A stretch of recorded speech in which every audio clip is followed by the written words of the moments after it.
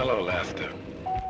We're having a quite a time up here now, but we really, really wished you were up. Well, one thing is pretty hot up here, too. And look like everywhere I go, I draw heat, period. Heard what the man said. Well, it's really been a lot of fun being up here. This is the best vacation I've ever had.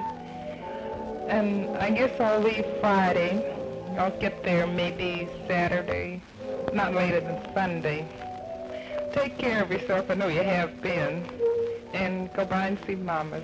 Sincerely yours, Nabella Johnson.